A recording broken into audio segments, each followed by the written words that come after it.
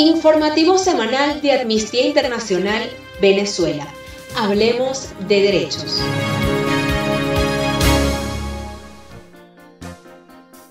Venezuela. Organizaciones de derechos humanos piden al Consejo de Derechos Humanos de la ONU que renueve y fortalezca la misión de investigación. 85 organizaciones nacionales e internacionales de derechos humanos han formulado una petición a los estados del Consejo de Derechos Humanos para que durante el próximo periodo de sesiones del Consejo, en septiembre, renueven y fortalezcan el importante mandato de la Misión Internacional Independiente de Determinación de los Hechos sobre Venezuela.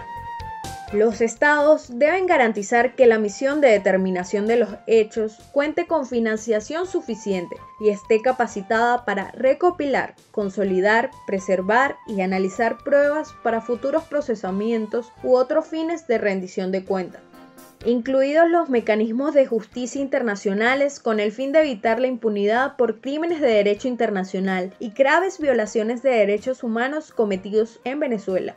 La misión de determinación de los hechos fue creada por el Consejo de Derechos Humanos mediante la resolución 4225 el 27 de septiembre de 2019, con el mandato de investigar violaciones de derechos humanos, incluidas ejecuciones extrajudiciales, desapariciones forzadas, detenciones arbitrarias, tortura y otros tratos crueles, inhumanos o degradantes, cometidos desde 2014, con vistas a asegurar la plena rendición de cuentas de los autores y la justicia para las víctimas.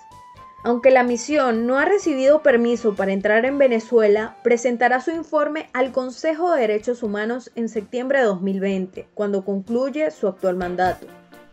Bielorrusia. Crecientes indicios de campaña generalizada de tortura dirigida contra participantes en protestas pacíficas.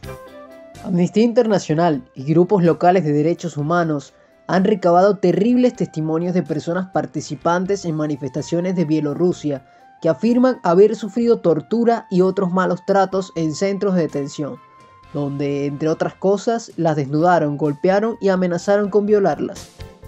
La multitud concentrada a las puertas de un centro de detención de Minsk afirma que los gritos de las víctimas de tortura se escuchan desde la calle, y hay videos que lo corroboran. Los datos apuntan a una campaña generalizada de tortura y otros malos tratos emprendida por las autoridades bielorrusas con el fin de sofocar las protestas pacíficas por cualquier medio. El mundo lleva días viendo con horror cómo la policía bielorrusa dispara balas de goma y gas lacrimógeno contra la multitud en protestas pacíficas. Cada vez es más evidente que las sangrientas escenas contempladas en las calles de Bielorrusia son solo la punta del iceberg, ha manifestado María Struders, directora de Amnistía Internacional para Europa Oriental y Asia Central. Egipto. Varias influencers de TikTok procesadas son sobrevivientes de violencia sexual y abusos en Internet. Las autoridades egipcias deben poner fin de inmediato a su campaña represiva contra las influencers de TikTok, procesadas por cargos absurdos de indecencia y ofender principios y valores familiares. Así lo ha manifestado Amnistía Internacional. Varias de las influencers de redes sociales que están sufriendo las nuevas tácticas represivas de las autoridades mediante el control del ciberespacio para dominar el cuerpo y la conducta de las mujeres y debilitar su capacidad de ganarse la vida de manera independiente, denunciaron en su día agresiones sexuales, violaciones de su derecho a la intimidad y abusos en Internet. En un caso terrible, una influencer apareció en directo en internet con hematomas en el rostro pidiendo al Estado que procesara a los hombres a los que acusaba de haberla violado. Fue detenida junto con sus presuntos agresores y sus declaraciones se utilizaron para acusarla de incitar al libertinaje y ofender principios y valores familiares, ha manifestado Lima Love, directora en funciones de Amnistía Internacional para Oriente Medio y Norte de África. Corea del Sur. Los procesos judiciales contra el gobierno japonés son la última oportunidad de justicia para las mujeres de Solás. Antes de que Corea del Sur celebre el 14 de agosto el Día de Conmemoración de las Mujeres de Solás, eufemismo con que se designan las mujeres y niñas forzadas a la esclavitud sexual por las Fuerzas Armadas japonesas antes de la Segunda Guerra Mundial y en su transcurso, Arnold Fang, investigador de Amnistía Internacional sobre Asia Oriental, manifestó.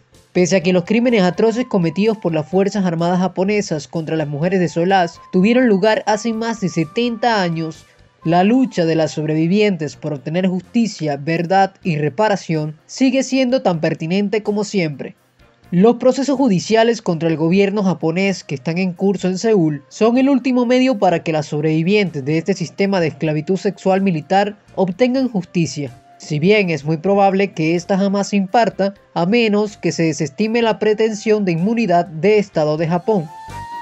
Líbano. Nuevos testimonios de ataques del ejército y las fuerzas de seguridad contra multitudes desarmadas tras las explosiones. Una investigación de Amnistía Internacional ha determinado que el ejército y las fuerzas de seguridad libaneses, así como hombres vestidos de civil no identificados, han disparado contra multitudes desarmadas durante las protestas que han tenido lugar en Beirut en los últimos días siguientes a las recientes explosiones. La organización ha hecho un seguimiento de las protestas mayoritariamente pacíficas del 8 de agosto, cuando se dispararon imprudentemente balas de goma, perdigones de escopeta de corredera y gas lacrimógeno contra la multitud. Ha recopilado testimonios de víctimas, testigos presenciales y personal médico, y ha verificado imágenes que muestran a las fuerzas de seguridad haciendo uso de la fuerza de manera imprudente e ilegítima. Con su vida arruinada y afectadas aún por el trauma físico y emocional de la explosión, miles de personas se echaron a la calle en Líbano para pedir justicia, pero las fuerzas del Estado han respondido disparando y lanzando gas lacrimógeno contra ellas, ha manifestado Lynn Malov, directora de investigación de Amnistía Internacional sobre Oriente Medio. Para más información sobre derechos humanos, visita nuestra página web amnistía.org y en redes sociales como arroba amnistía.